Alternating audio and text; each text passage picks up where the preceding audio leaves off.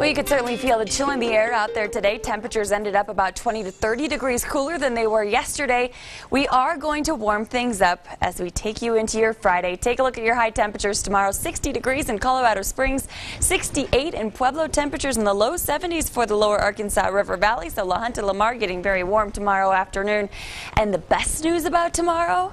We are not going to be tracking as gusty of winds as we had out there today and certainly nothing like what we had out there yesterday. So the winds that we have been battling for the past several days, they are finally going to be coming to an end. A much quieter Friday on tap, at least as far as the wind is concerned. We are expecting another round of showers to develop late tomorrow afternoon and into the evening. So let's track those with Skycast now.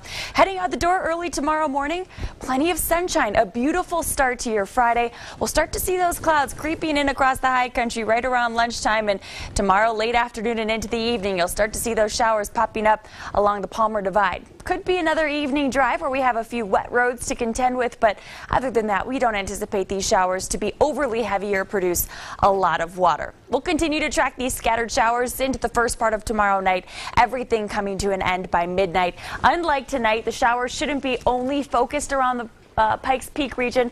Could see them scattered up toward Denver. We could even see a few showers out across the plains, which would be wonderful because we certainly need a lot more in the way of water across the state, especially considering how dry it has been for the past couple of days in the fire danger. It's great to see that water back in the forecast. 60 degrees your high temperature tomorrow in Colorado Springs, 70 degrees on Saturday. Saturday, a very nice day. Sunday, we'll drop the temperature just slightly, but still looking very nice with a high temperature of 68 degrees.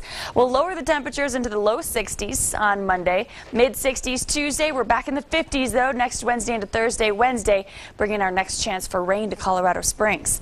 In Pueblo tomorrow, 68 degrees will be your high temperature. Pueblo not looking like a great chance for rain tomorrow, and we'll keep it dry through the weekend. Mid 70s expected Saturday and again on Sunday.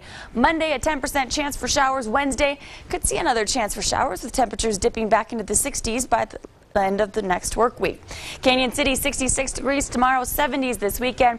Chance for rain Monday, chance for rain on Wednesday. Until then, it is going to stay dry. So even though we have been tracking a few showers, some cooler temperatures, still be careful with any sparks out there. Fire danger is still relatively high across the state. Teller County 50s will take us all the way into early next week. Could see a few rain, snow, mixed showers. Another chance for showers early next week. But the big story here, did you see that weekend forecast? Oh, yeah. Not too shabby. And the Looking best news, good. as I was saying before, no wind is expected. Yeah. Well, light winds, but not the gusty stuff like we saw Oh. earlier this week. Great. Looking right. forward to that. Mm-hmm. Time to get out Colorado. Absolutely. Thanks. You bet. Well, it's out to the ball game for some peanuts